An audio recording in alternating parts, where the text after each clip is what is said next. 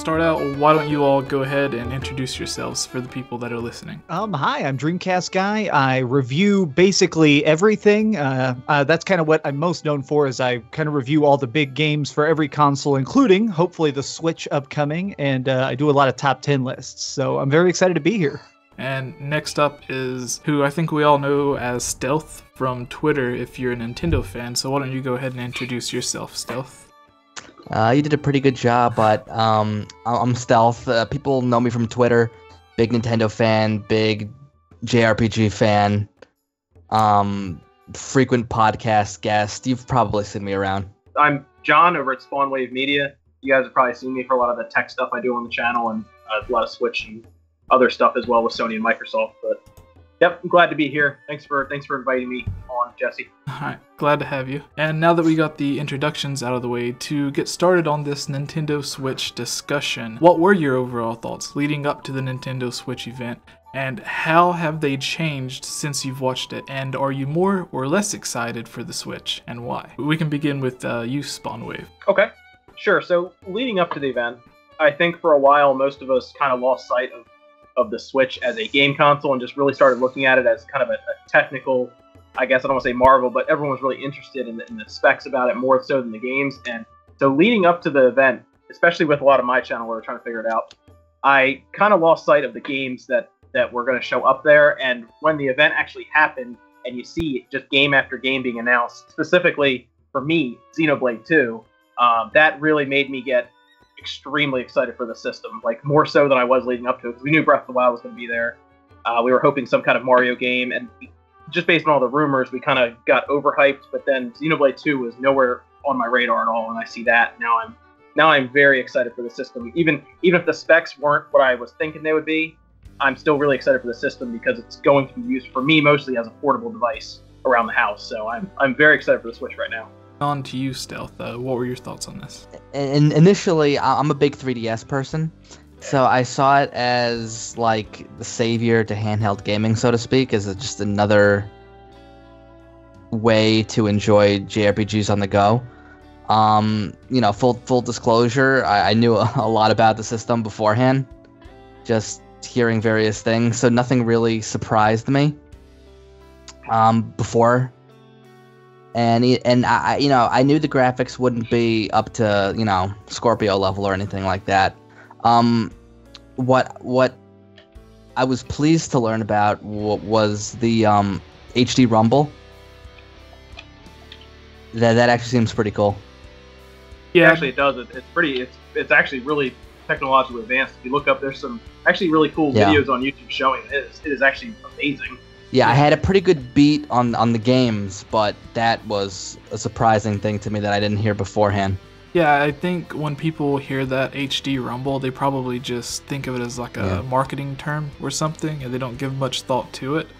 But if you look at the size of these Joy-Cons and the technology that's packed inside of it, it actually is something, uh, I wouldn't necessarily say revolutionary, but it is the next step in having haptic feedback and uh, Yeah. advanced rumble capabilities it- and controllers and stuff. Well, if you look at like uh, at the MacBook Pro uses something similar to that for its like touchpad, where it's like Mhm. using haptic feedback whenever you press it. It doesn't actually press, but it feels like it's pressing, and that's the same kind of technology that Nintendo's using in their in their Joy Cons now. And what about you, Dreamcast guy? What were your thoughts leading up to this and after the big reveal? Uh, leading up to it, I was very, very excited. The initial teaser really made it look super straightforward, which I feel like a lot of Nintendo devices get so gimmicky that at times they just kind of lose sight of the game. So leading up to this, I was very excited. I was pretty let down by the conference at the beginning. All the stuff at the beginning, I.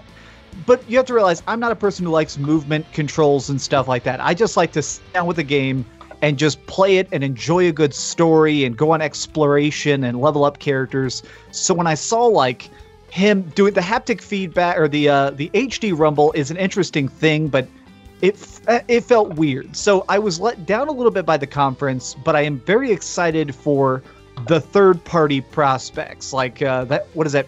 Project Octopath Traveler. I'm super excited for what the hell that thing's gonna be. That game So looks I'm- good. Yeah.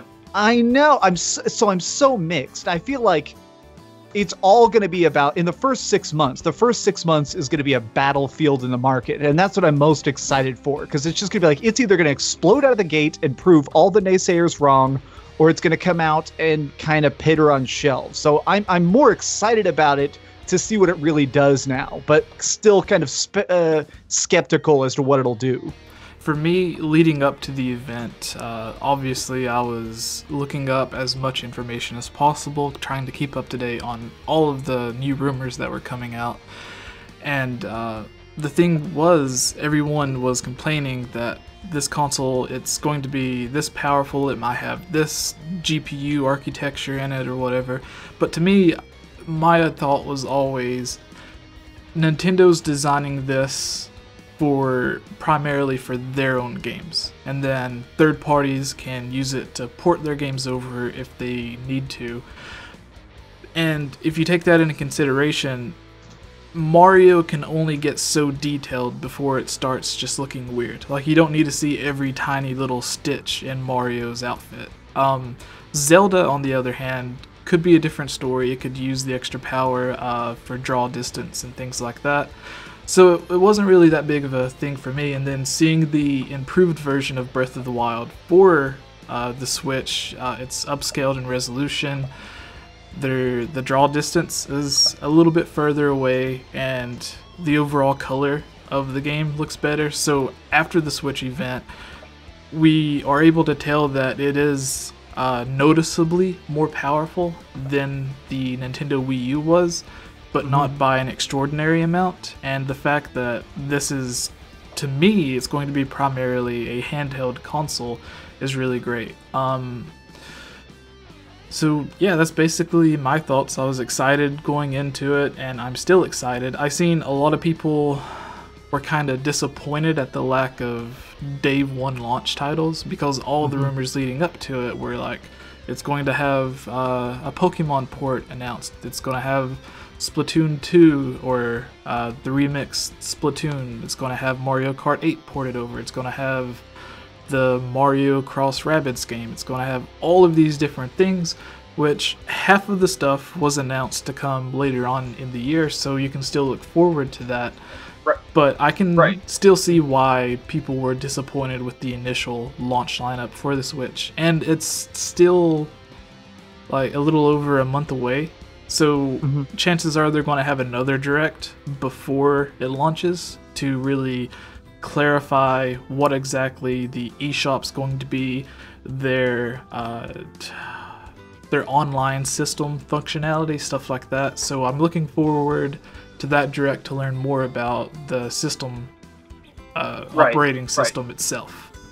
But they don't they don't they really don't need a lot of games at launch. To be honest, they need one big game, which is Zelda, and then a couple small ones because the Switch is going to sell out the first month no matter what.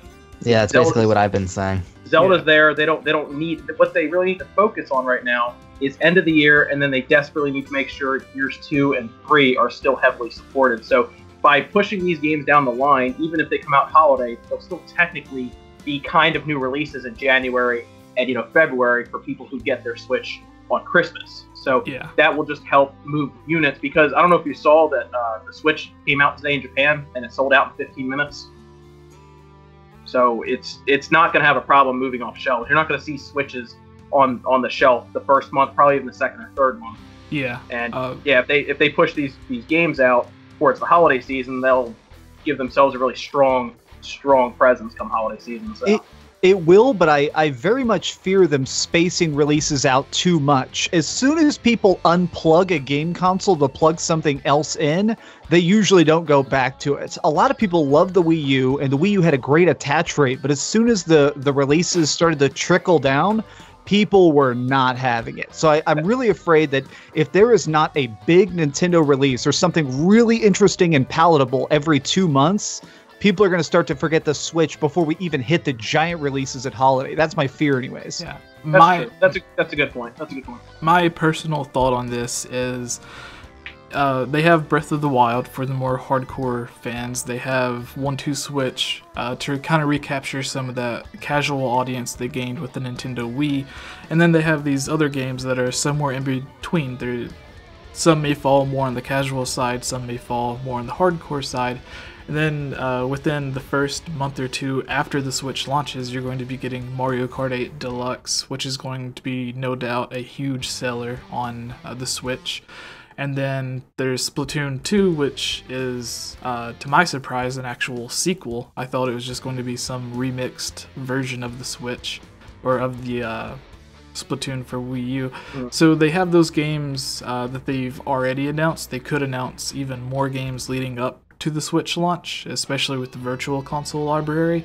And then whenever E3 comes, which is just a few months after the Switch launch, I think that's when you're going to get more into depth on what exactly this new Mario game is. You're probably going to get uh, I I want to say that I'm hopeful for some kind of Metroid Prime. mention. Metroid. Yes. Right? uh, yeah, hell yeah. yes. Metroid all day. I think it was at last year's E3 when they announced Federation Force. There was an interview with Reggie where he said that he knows Metroid or Federation Force isn't the Metroid game that fans want. So hopefully that means they know what Metroid game fans want and they're working on it. And uh, just as uh, Smash Brothers originally started out as its own unique IP fighting game for the Nintendo 64, and then they kind of put the Nintendo characters in the game. Personally, I think Federation Force started out as that uh, multiplayer game where it's basically like soccer with uh, the blasters or whatever you want to call them. Yeah, yeah. And then they were like, well, we haven't had a good Metroid game in a while. Why don't we just reskin this and turn it into a Metroid game? That way we can kind of get something out there to please the fans. And because it has Metroid attached to it, it may sell more than something that's just a brand new IP altogether. So I think that's what that was. And with them saying that they know what Metroid game fans want, I really, really expect them to announce that during E E3. Probably the biggest thing they could announce is Pokemon Stars. Yep. Yeah. Yep. yes, absolutely. Yep. Yeah. I had a, I had an argument with someone the other day, like in like the real world here with me, where they were telling me that Pokemon is not a uh, not a system seller. It, I would say it is the system seller. I feel like if, if if they do that, it is going to be the ultimate proof of concept to say this is both Pokemon Stadium, the thing you play on your TV, but it is also the Pokemon you play on the go. I feel like Pokemon Stars, if that really does exist and all these rumors are true, they need to announce that before it actually comes out. That way the pre-orders skyrocket even more. Well, Yeah. did you see sales? Did you see sales for Pokemon Sun and Moon came out the other day?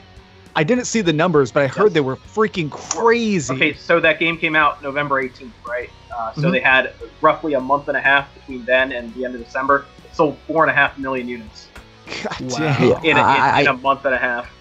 I, I do have it on good authority that, that the game is real and that they weren't going to announce it at the Switch event, but they were going to later. Okay. And um, yeah, it, it, it's like a typical third game where they have more content. Mhm. But I mean, if they market it right, like other third games, it could sell five, ten million. Yeah, but that's, Yeah. that's a game, like you said, that's a game you don't need right now. They need it in Yeah. six months. A- And really, that's that's more of a thing where the Pokemon Company will announce a direct in say July, and then they'll say, "Oh, it's releasing holiday." Usually, they they, they like the October slot, Mhm. so we'll, we'll see. But that um, I, I would put money on that coming out this year, if if nothing else. Yeah, I'm I'm very excited for. Uh, I didn't mean to interrupt you there, but uh, Uh, uh, yeah, I'm very excited for Pokemon Stars whenever it comes out. If all of the rumors are true, because potentially you have the right analog stick on the Nintendo Switch to control the camera movement. You can get different angles and stuff like that. If they incorporate it in, you have the same game that looks incredible on the 3DS, but now it's going to be in HD, so it's not going to have the jagged pixels and everything else. It's going to look crystal clear and amazing. Uh, there could potentially be the new Pokemon added to the game, and then if they do have some sort of Pokemon Stadium type uh, game added into it, that would make it amazing. I've already seen people data mined the the 3DS versions of Pokemon Sun and Moon and saw that there's already the super high resolution sprites are already in the game. So clearly they have already done like a, a large chunk of the final work on uh, Hmm. Stars. Like clearly it is set to go in some capacity, which So- gets me even more excited. So do you think that means that there would be some kind of compatibility between stars and sun and moon then if the images are already in sun and moon for like trading back and forth and everything? I think Uh, they're working on cross battle. Yeah. Huh. Cool. That could be good. I Yeah. I heard I heard some slip from from Fi, uh, Reggie Fils-Aimé, which may have just been a missay. It was in the, the I think the Pro Jared interview that, That was a did. really good. That was a really good interview. It was. Well, it was so funny. I mean, they, they do things so so interestingly, but it sounded like that they were. Tr- it's the way they phrased it. It sounded like they're trying to do something where you could use your 3DS as a controller of the Wii U. It sounds like they want to do that with the the uh, Switch as well. I even snapped. I'm so I'm stuck on their branding. I was like, oh yeah, switch it up. Yeah, wasn't that a concept they had for the Wii U? Yeah. Uh, like- so well, I think you could do sorry. it in Smash Brothers, right? Yeah, yeah, but it made the way this made it sound. Some of the phrasing made it sound like they want it to be so literally. If your friends have 3DSs, because I'm sure you guys have been to conventions, and the hallways are just lined with people standing in lines playing 3DSs. So I think they want to make it where you could have a switch and just press like a configure button, and everybody there automatically can have controllers and join in. Yeah. That's and, cool. That's a and it would idea. give the people that already own Sun and Moon on the 3DS that are upgrading to the Switch version, it would give them a chance to kind of trade their Pokemon over to the Switch version as well. Well, I just think about stuff like because uh, the biggest gripe I have about the Switch overall is that I think the controllers are just astronomically too expensive. But I think it's smart marketing if they're really positioning the 3DS to also be controllers because then Nintendo can market it as well. You pay $80 for Joy Cons or $120 for this 3DS that's also a controller that you play on the go. Yeah, that's kind of similar to how uh, with PlayStation in some games you can use the PS Vita as a 2nd controller for the PlayStation 4. Mhm. I want to thank you all for watching this video. If you liked it, give this video a like and share it with your friends. If you haven't already, please subscribe so you don't miss out on future gaming news, theories, rumors, and discussions. Also, let me know your thoughts in the comments below on how it could be improved. Your feedback is the most important part of bringing the quality of content on this channel to be the best that it can be. I would like to take this time to give a huge thank you to this month's Patreon supporters Jonathan, The Edge Network, Magic Tech Review, John Frank, and Harris Priest. This video was made possible by supporters on Patreon. If you would also like to support this channel, head over to patreon.com slash gameoverjesse where you can support this channel as well. Rewards vary from having your topic featured on a future discussion, seeing videos early, joining as a guest on a video, and having a custom avatar similar to my own drawn of you to match any video game or anime art style that you would like. Mine is of myself as Link, but you could choose to have yours any way that you would like. Finally, I would like to thank my friends CS Guitar 89 and Nomo Designs for providing the music and artwork for this video.